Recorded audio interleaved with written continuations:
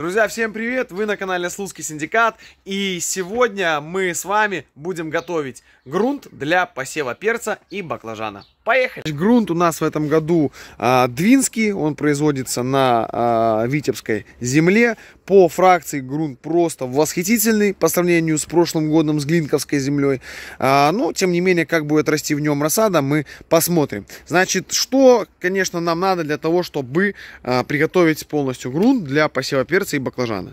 Знаешь, замес мы производим а, в бетономешалке. Это удобно, быстро, просто. То есть, ну, насыпаем количество земли нужно и разводим, конечно, его с водой. Мешать потрясающе, никаких сил на это особо не тратишь.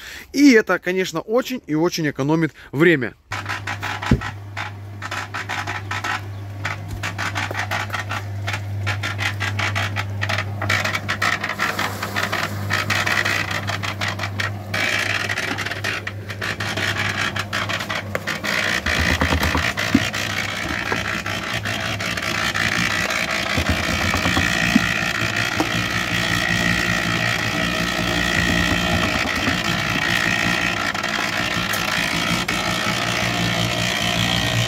До какой консистенции мы мешаем землю.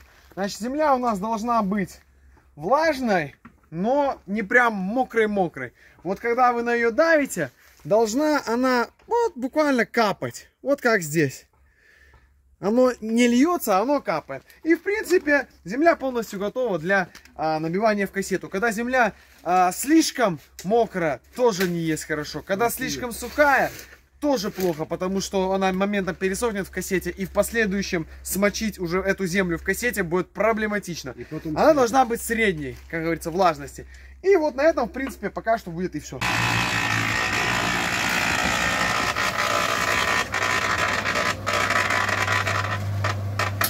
Друзья, я забыл еще добавить, что для более равномерного пропитывания грунта а, сначала заливаем воду, а уже потом закидываем грунт. Знаете, друзья, как мы набиваем кассеты?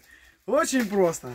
Ну, как бы, сыпанули, вот так вот аккуратненько это дело разровняли, чуть-чуть подбили, для того, чтобы земля немножко уселась, и наверх даем еще немножечко слоя земли. Все, кассета наша полностью готова к эксплуатации.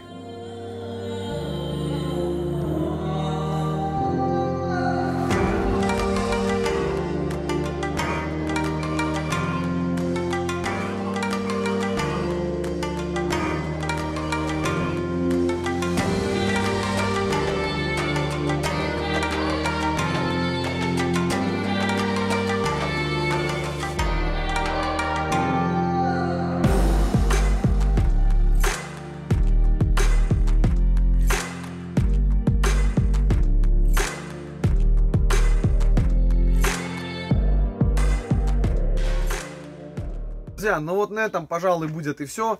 А, я показал вам весь, как сказать, подготовительный процесс перед днем X. Перед днем, когда мы будем высевать уже непосредственно перец и баклажан в нашу рассадницу, в наши кассеты. А, единственное, что мы еще сделаем, это накроем все кассеты целлофаном, чтобы а, избежать потери влаги, так как будем производить посев где-то через 2-4 дня, плюс-минус. Поэтому, чтобы кассеты не подсыхали, мы их накроем пленкой. Ну и в принципе, друзья, вот с этого момента можно официально сказать, что мы начинаем борьбу, как говорится, за урожай 2023 года. Поэтому все, друзья. Надеюсь, что я был кому-то полезен. Ставьте лайки, подписывайтесь на канал, переходите по ссылке в наш инстаграм. Вот сейчас она где-нибудь выскочит. Там безумно много всякой информации, очень интересно и весело. Давайте, как говорится, вместе проводить время, так сказать. Все, друзья, всем большое спасибо. Всем пока.